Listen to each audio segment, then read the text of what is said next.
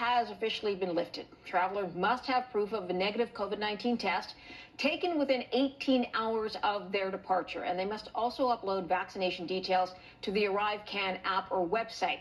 And those who come to Canada from India by an indirect route will still be required to have that negative test from a third country within 72 hours of departure. Ajay Bisaria is the High Commissioner of India to Canada and joins us now from Ottawa. Thank you, sir, for your time.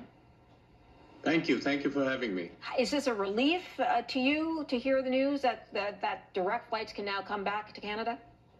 Absolutely. It's a welcome step. It's a welcome step towards normalizing the air mobility between India and Canada, and it's going to help a lot of folks in both countries who have been uh, inconvenienced for a long time uh, during this flight ban. Is there any indication of how many people were inconvenienced, maybe how many people were waiting uh, on the other end for a direct flight back to Canada? Well, in the thousands, because uh, there have been direct daily flights from uh, Toronto and Vancouver, between Toronto, Vancouver, and Delhi, all this while from last year since we agreed on an air bubble between the two countries. And a lot of people have been dismayed and disappointed who weren't able to travel or had to travel through very circuitous uh, third country routes. So they are going to be uh, very relieved. And uh, just for instance, there were 35,000 uh, Indian students who had to join the semester by uh, September in uh, Canada, and they were very keen to come in. So uh, it's going to bring a lot of relief to a lot of folks who are waiting to get in. I also want to ask you about the test that they need that has to be one done in a specific New Delhi lab. Tell me why that is happening and, and why people have to have it within 18 hours of departure, where in other places it has to be 72 hours.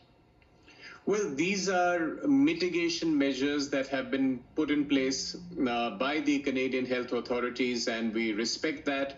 We have been in continuous conversation with uh, Global Affairs Canada, with Transport Canada, and we've been going back and forth on the exact nature of mitigation measures. As I said, this is a welcome first step, and we hope the few next steps are taken towards normalizing air mobility between the countries, and that would mean having more uh, test laboratories, uh, expanding them in Delhi and expanding them across India so that uh, it becomes more convenient. And I believe the early results of uh, these mitigation measures have been very positive.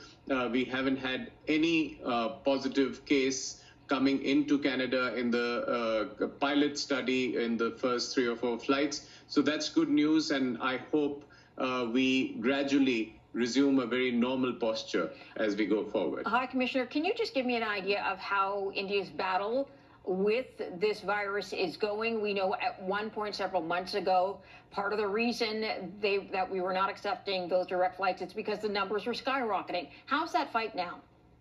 Well, fortunately, we are in a very uh, hopeful uh, place. Uh, we aren't completely out of the woods, but we are in a very positive space. Uh, we had a brutal second wave, as you mentioned uh, a few months ago. But now we are in a very confident position of uh, seeing the end of that second wave. And we have, for instance, from Delhi, just about 20 or 30 cases uh, daily that we are detecting, and Delhi is where the flights are going to be uh, going uh, to both Toronto and Vancouver. More than that, India is well on its way to vaccinating its entire population by the end of the year and reaching that critical mass. Uh, we have already uh, administered vaccines to more than 600 million people who've got the first dose. Uh, 200 million have the second dose. So we are fairly confident that we are going to go ahead and beat uh, the pandemic, and that's why we're very keen to resume uh, normal mobility with the rest of the world. Yeah, we are all ready to get back to normal if we can. Uh, High Commissioner, appreciate your time tonight. Thank you so much for joining us. Thank you very much. Straight ahead, R&B.